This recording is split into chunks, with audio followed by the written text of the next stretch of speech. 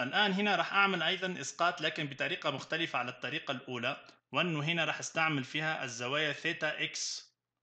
وهي الزاوية ما بين ال force F والمحور X و theta Y وهي الزاوية ما بين ال force F والمحور Y وهنا theta Z وهي الزاوية ما بين ال force F والمحور Z طبعا هنا لو عملت الإسقاط متاعي على X راح تحصل على F cosine theta X هذا المكون. ولو أسقطت على y راح تحصل على المكون f y بيساوي f cosine theta y. ولو أسقطت على z راح تحصل على المكون f z بيساوي f cosine theta z. وطبعا الفورس f بتكتب في ثلاثي الأبعاد f x i plus f y j plus f z k. يعني باتجاه الاكس والواي والزي والزد ثلاث مكونات في ثلاثي الأبعاد. لو عوضت الآن f x و f y و f z بمكوناتها زي ما كتبتها أول مرة هنا راح تجدون أنه f هو عامل مشترك بالنسبة لل three components فأجي أضعه هنا كعامل مشترك وتحصل على الكتابة التالية. هذه أنا راح أسميها ال vector lambda وهو unit vector باتجاه ال force بيكون زي ما تشوفوا هنا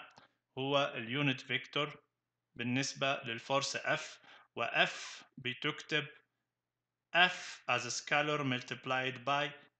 the unit vector lambda. وهنا بالتالي لامدا يساوي كوساين ثيتا إكس اي مع كوساين ثيتا واي جي مع كوساين ثيتا زد كي وزي ما أشرت هنا لامدا is a unit vector along the line of action of the force F يعني في هذا الاتجاه and cosine theta x cosine theta y و cosine theta z are the direction cosines for the force F الآن لو تصبح عندي vector F ما هو زي الحالة الأولى اللي كان ما بين ال O ونقطة في الفضاء؟ الحين راح يصبح بين نقطتين الاثنين موجودين في الفضاء زي ما تشوفوا هنا. ال m عندها مكونات x1 y1 z1 وال n عندها مكونات x2 y2 و z2 ال d هو ال vector joining m and n هذا هو ال vector d اللي هو ما بين النقطة m والنقطة n. فأقدر أكتب d كمكونات هنا في ثلاثية الأبعاد dx dy و dz dx بتساوي x2 minus x1 وهي relative position between the point m and n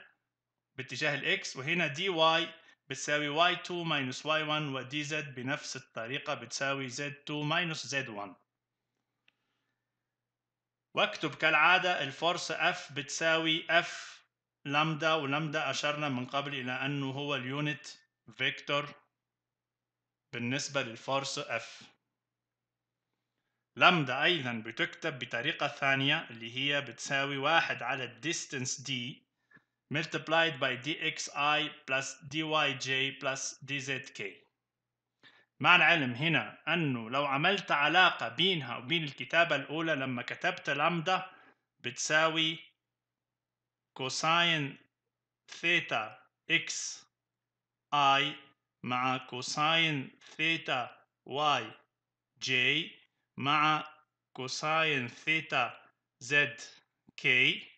لو عملت علاقة بين الكتابة الأولى اللي شفناها في ال slide اللي قبلها والكتابة التالية أقدر أتحصل على أنه f x بتساوي f d x على d و f y بتساوي f d y على d و f z بتساوي f d z على d